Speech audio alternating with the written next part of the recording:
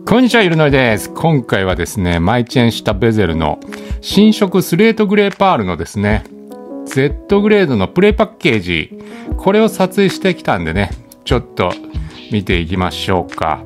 このね、あの、スレートグレーパールのプレイってほんとレアなんですよね。関東じゃ、この千葉のね、穴川店さんしかね、試乗車置いてなかったんで、ちょっと見てきました。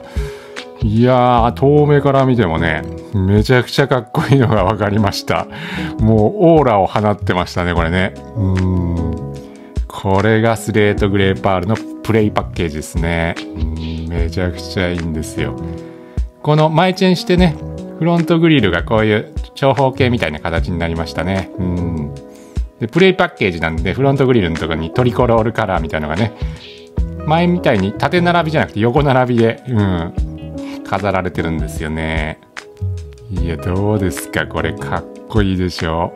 上がね、黒なのがいいんですよね。下の方もね、黒で。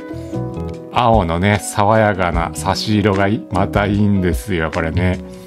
この色ね、スレートグレーっていうのはですね、あの、青みがかった灰色っていう意味ですね。うん。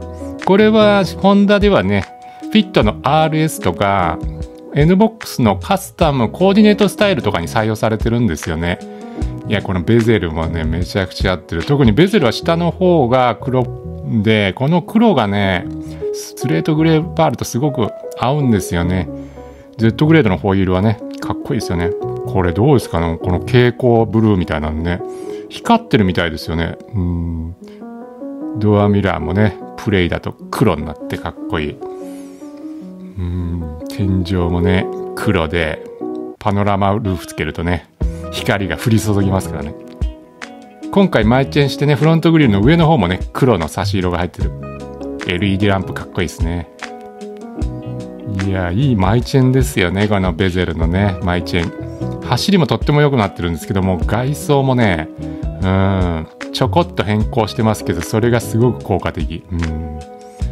特にスレートグレーパールがいいですね、新色。おすすめカラー、僕のね、中でランキング1位にしたんですよ、これね。この青の差し色、ほんと光ってるみたいですけどね。うん。このスレートグレーパールとの相性もいいですよ、この青が。もう何周も回って 撮影させてもらったんですけど。えーっと、インテリアもね、ほんと、うん、鮮やかなんですよね。シートはね、以前と同じなんですけど、青のちょっと差し色が入ってるし、こういうところもね、ほんと光ってるみたいなね、鮮やかなブルーなんですよね。うん。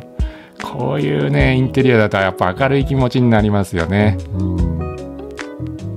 この青のラインがいいですね。